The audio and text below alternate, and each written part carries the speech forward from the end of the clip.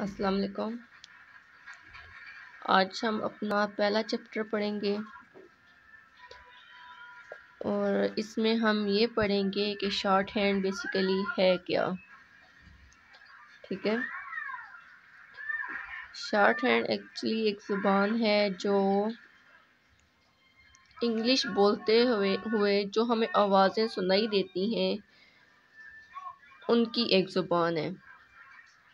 ठीक है, जो हमें आवाज़ें सुनाई देती हैं, उन आवाज़ों को पिटमैन ने तकसीम किया है। अच्छा तो अब मैं आपको बताती चलूँ। ये देखें। चैप्टर नंबर वन हम लोग पढ़ेंगे। मैं बुक से भी आपको दिखा देती हूँ।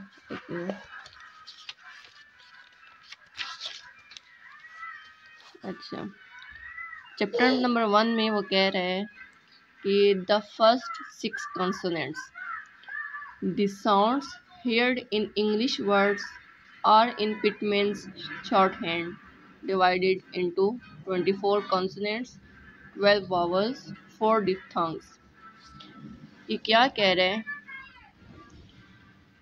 कि शॉर्ट हैंड क्या है? शॉर्ट हैंड जो है वो एक सिंबल बेस्ड लैंग्वेज है।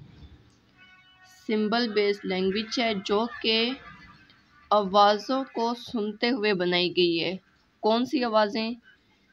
जो इंग्लिश के अल्फाज हम लोग बोलते हैं, उनको सुनते हुए जो आवाज़ें हमें सुनाई देती हैं, उनके लिए पिटमैन ने सिंबल्स बनाए हैं।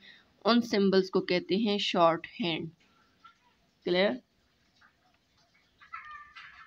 शॉर्ट हैंड क्या है? इंग्लिश के अल्फाज को सुनते हुए जो आवाज़ें हमें सुनाई देती हैं, उन आवाज़ों के सिंबल्स बनाए गए हैं। उन सिंबल्स को क्या कहते हैं? Short hand. समझ आ गई? शॉर्ट हैंड असल में आवाज़ों की बेस पे एक लैंग्वेज है ओके शॉर्ट हैंड में हम लोग स्पेलिंग्स को नहीं देखेंगे। स्पेलिंग्स को बिल्कुल इग्नोर करना है। हमने देखना है तो सिर्फ़ ये देखना है कि हमें आवाज़ किस तरीके से आ रही है। जैसे कि लफ्ज़ है लफ्ज़ है taught T A U G H T taught अब टॉट लॉस में हमने स्पेलिंग्स को इग्नोर करना है ओके स्पेलिंग्स को इग्नोर करेंगे तो हमें किस, कैसी आवाज़ आएगी? टी ए टी टॉट तो एक्चुअली हमारे लिए ये चीज़ इम्पोर्टेंट है ओके ये चीज़ हमारे लिए इम्पोर्टेंट है। स्पेलिंग्स इम्पोर्टेंट नहीं है, जो साउंड आ रही है वो इम्पोर्टेंट है। ओके? अच्छा। तो अब कोई भी ज़ुबान होती है, उसमें अल्फ़ाबेट भी ज़रूरी होते हैं और ग्रामर भी ज़रूरी होती है। अल्फ़ाबेट और ग्रामर के बगैर तो कोई भी ज़ुबान जो है वो इनकम्प्लीट है। ओके? तो अब ये जहन में रखना है एक मिनट। अच्छा। ये जहन में रखना है कि शॉर्ट हैंड में हम लोगों ने अल्फ़ाबेट भी सीखने हैं और ग्रामर भी, ये दोनों चीज़ें सीखनी है हमने ओके तो नेक्स्ट बुक में क्या कह रहे पिटमैन के? A shorthand sign is provided for each of these sounds the first six consonants are represented by straight strokes written downward अच्छा। शॉर्ट हैंड में जो अल्फ़ाबेट होते हैं ना, उनको हम लोग कहते हैं कॉन्सोनेंट्स या स्ट्रोक्स जैसे कि इंग्लिश ज़बान है इंग्लिश ज़बान में ए बी सी डी ये हमारे पास अल्फ़ाबेट होते हैं। लेकिन इन्हीं चीज़ों को हम लोग शॉर्ट हैंड में कॉन्सोनेंट्स या स्ट्रोक्स कहेंगे। अच्छा। तो हमारे पास शॉर्ट हैंड में टोटल कितने स्ट्रोक्स हैं? Twenty four twenty four strokes हैं. वावल्स कितने हैं? ट्वेल्व डिफ्थोंग्स कितने हैं? फोर अब कॉन्सोनेंट्स या स्ट्रोक्स ट्वेंटी फोर कॉन्सोनेंट्स का हमें पता चल गया कि ये जो है ना अल्फ़ाबेट हैं। वावल्स इंग्लिश भी हम लोग थोड़ा बहुत जानते हैं, उस पर भी हमें थोड़ा आइडिया है कि वावल क्या चीज़ है तो इसके लिए भी हम मुझे समझाने की ज़रूरत नहीं है। अब ये डिफ्थोंग्स डिफ्थोंग्स क्या है? Diphthongs actually combination of two vowels है। जहाँ पे टू वावल्स आपस में कंबाइन करेंगे, उसको हम लोग कहेंगे डिफ्थोंग्स और पिटमैन कहता है कि पूरी शॉर्ट हैंड में सिर्फ़ चार ऐसे मौके आते हैं जहाँ पे टू वावल्स इकट्ठे होते हैं। तो इसीलिए उसने फोर डिफ्थोंग्स ओनली बनाए ओके सिर्फ़ फोर डिफ्थोंग्स चलें, यहाँ तक आपको क्लियर हो गया। एक दफ़ा फिर बता देती हूँ आपको कि शॉर्ट हैंड क्या है? Shorthand actually symbol based language है जो कि आवाज़ों को सुनते हुए बनाई गई है। कौन सी आवाज़ें जो हमें इंग्लिश की आवाज़ बोलते हुए सुनाई देती हैं? शॉर्ट हैंड में दो चीज़ें हम लोग सीखेंगे अल्फ़ाबेट और ग्रामर तो शॉर्ट हैंड वो सॉरी पिटमैन ने ट्वेंटी फोर कॉन्सोनेंट्स बनाए हैं मतलब स्ट्रोक्स बनाए हैं। बारह वावल्स हैं, चार डिफ्थोंग्स हैं। डिफ्थोंग्स क्या हैं? Combination of two vowels two vowels के कम्बिनेशन को हम लोग कहेंगे डिफ्थोंग्स अच्छा तो फ़र्स्ट चैप्टर में हम लोग पढ़ेंगे सिक्स कॉन्सोनेंट्स कॉन्सोनेंट्स मतलब वही अल्फ़ाबेट ओके हम लोग सिक्स कॉन्सोनेंट्स पढ़ेंगे, जो के हैं P B T D J J अच्छा ये छः जो हैं हमारे पास कॉन्सोनेंट्स हैं। अब मैंने पहले ही बता दिया है कि हम लोगों ने अल्फ़ाबेट्स पे ध्यान नहीं देना। हमने आवाज़ों पे ध्यान देना है। P B T D J J okay ये सिक्स कॉन्सोनेंट्स हैं जो कि स्ट्रेट स्ट्रोक्स हैं रिटर्न डाउनवर्ड मतलब ये जितने भी छः कॉन्सोनेंट्स हैं, इनके सिंबल्स कैसे होंगे? इनके सिंबल जो होंगे वो ऊपर से नीचे की तरफ़ लिखे जाएँगे। ऐसा नहीं होगा कि हम नीचे से ऊपर लिखें नहीं यह गलत होगा, बल्कि ऊपर से नीचे लिखेंगे। स्ट्रेट स्ट्रोक्स हैं। स्ट्रेट मतलब या ऐसे हैं, या ऐसे हैं, या ऐसे हैं। सिर्फ़ इन्हीं के बारे में हम लोगों ने पढ़ना है, फ़र्स्ट चैप्टर में। तो पी का जो स्ट्रोक है वो लाइट लाइट लाइन है।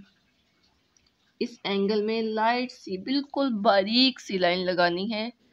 तो इसका मतलब ये होगा कि ये पी है।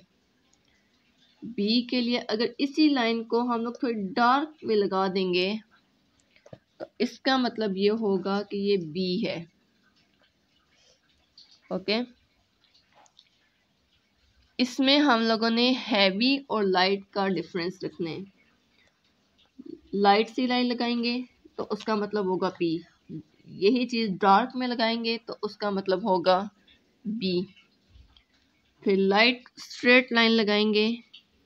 लाइट से स्ट्रेट लाइन लगाएँगे तो उसका मतलब होगा टी डार्क स्ट्रेट लाइन लगाएँगे तो उसका मतलब होगा डी इसी तरह इस एंगल में लाइट चे लिखेंगे।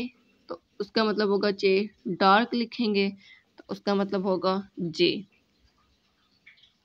ओके ये एक्चुअली पेयर्स हैं। पी और बी का पेयर है टी और डी का पेयर है जे और जे का पेयर है। इन दोनों के सेम एंगल हैं, लेकिन है लाइट और हैवी इन दोनों के सेम एंगल हैं लाइट और हैवी जे और जे के सेम एंगल हैं, लेकिन लाइट और हैवी ये पेयर्स की सूरत में है. अब आपने याद क्या रखना है कि हमें बहुत खूबसूरत आउटलाइन बनानी है. ये जो स्ट्रोक है ना, ये जो हम लिखते हैं, इसको बोलते हैं आउटलाइन आउटलाइन आपकी हमेशा अच्छी होनी चाहिए. ओके। देखें। अगर ये आप लिखते हुए लाइन से थोड़ा नीचे ले आते हैं, ये देखें। अगर आपका स्ट्रोक जो है वो लाइन से नीचे आ जाता है तो इसका मतलब है कि आपका पेंसिल पे कंट्रोल ही नहीं है। सही है? पेंसिल पे कंट्रोल करना बहुत ज़रूरी है। और जब आप पेंसिल पे कंट्रोल कर लेंगे तो इसका मतलब ये होगा कि आपकी आउटलाइन खूबसूरत खूबसूरत है और पढ़े जाने के काबिल है। शॉर्ट हैंड को पढ़ना कमाल है, लिखना कमाल नहीं है। जो आप लिख रहे हैं, उसको पढ़ भी सकें। मिसाल के तौर पर अगर आप ऐसे ही लाइनें लगाना शुरू कर देंगे तो ना ही आपकी आउटलाइन बनेगी। मतलब बिल्कुल लाइन पे कोई नहीं होगा, या लाइन से नीचे होगा, या लाइन से कोई ऊपर स्ट्रोक होगा तो ये गलत है। दूसरा, अगर आप हैवी लाइट का फ़र्क नहीं करेंगे तो फिर बाद में आप ख़ुद ही नहीं पढ़ सकेंगे कि भाई मैंने लिखा क्या है। आपको तो समझ ही नहीं आएगी। इसलिए हैवी और लाइट का फ़र्क करना ज़रूरी है। और दूसरा, इनके साइज़ भी बराबर होने चाहिए। जिस साइज़ में आपने लिखना स्टार्ट किया है, उसी साइज़ में सारे लिखने हैं। ओके और ये तभी सही होगा जब आप बार बार प्रैक्टिस करेंगे। प्रैक्टिस करने से ही आपकी आउटलाइन सही होगी। और, ये था आज का लेक्चर जो कि मैं एक दफ़ा दोबारा रिपीट कर देती हूँ। ये आप लोग, ये सारा लेक्चर इसका आप लोग स्क्रीनशॉट ले लें और ये अपने पास सेव कर लें। अगर आप लोग अपनी नोटबुक्स में ख़ुद से लिख के सेव करते हैं तो ये आप लोगों के लिए ज़्यादा बेहतर है। क्योंकि जो चीज़ आप लोगों ने अपने हाथ से लिखी हो ना तो वो नहीं भूलती। ये मैंने एक जगह पे मोबाइल रखा हुआ है। आप स्क्रीनशॉट ले लें। और सेव कर लें। ओके? चलो, एक दफ़ा रिपीट कर देती हूँ। Chapter one chapter number one में हमने क्या पढ़ा कि शॉर्ट हैंड एक सिंबल बेस्ड लैंग्वेज है, जो कि साउंड को सुनते हुए बनाई गई है। कौन सी साउंड्स को जो इंग्लिश के अल्फाज सुनते हुए हमें सुनाई देती है? कोई भी ज़बान हो, उसमें अल्फ़ाबेट और ग्रामर ज़रूरी होती है, इसलिए इसमें भी हम लोग अल्फ़ाबेट और ग्रामर पढ़ेंगे। कॉन्सोनेंट्स और स्ट्रोक्स हैं। कॉन्सोनेंट्स का मतलब है कि अल्फ़ाबेट मतलब ट्वेंटी फोर अल्फ़ाबेट्स हैं इसमें। ट्वेंटी फोर कॉन्सोनेंट्स हैं ट्वेल्व वावल्स हैं फोर डिफ्थांग्स हैं। डिफ्थांग्स क्या हैं? कम्बिनेशन ऑफ़ टू वावल्स अच्छा जब ये चीज़ हम लोग सीख लेंगे ना twenty four consonants twelve vowels four diphthongs तो इसका मतलब ये होगा कि हमारी शॉर्ट हैंड कंप्लीट होगी। ओके इसका मतलब ये होगा कि हमने कंप्लीट शॉर्ट शॉर्ट हैंड सीख ली। हमने सिर्फ़ यही चीज़ें सीखनी है पूरी बुक में, पूरे कोर्स में। अच्छा तो नेक्स्ट क्या है कि फ़र्स्ट चैप्टर में हमें, हमने सिक्स कॉन्सोनेंट्स पढ़े हैं। जो कि हैं straight strokes written downward straight strokes written downward okay P का स्ट्रोक लाइट है इस एंगल में. बी का स्ट्रोक डार्क है. पी का स्ट्रोक लाइट है. डी का डार्क है. जे का लाइट है. जे का डार्क है. ध्यान ये रखना है कि आपका स्ट्रोक जो है ना लाइन से ऊपर हो. और ना ही लाइन से नीचे हो, बल्कि बिल्कुल लाइन के ऊपर हो के। बिल्कुल लाइन के ऊपर।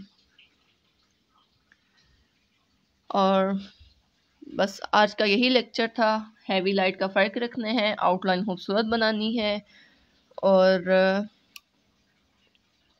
ऐसा लिखना है, ऐसी आउटलाइन बनानी है कि आप लोग ख़ुद भी बाद में पढ़ सकें।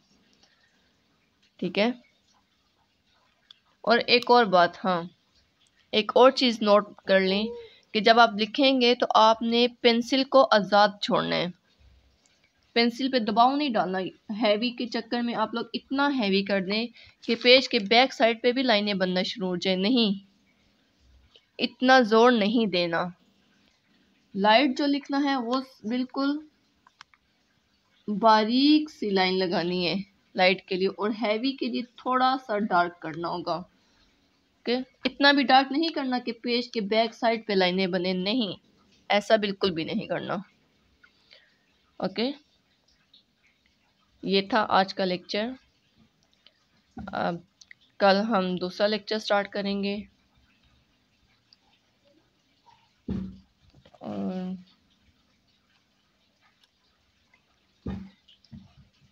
एक और चीज़ नोट कर लें कि बुक में कहा है the arrows indicate the direction in which the strokes are written the they are never written in any other direction कि हमने पढ़ लिया है कि ये रिटर्न डाउनवर्ड है, ऊपर से नीचे ही लिखने हैं, नीचे से ऊपर नहीं लिखना ओके इस बात का भी आपने ख्याल रखना है। हमेशा ये वाले स्ट्रोक्स जो हैं ये आपने रिटर्न डाउनवर्ड ही लिखने हैं ओके अल्लाह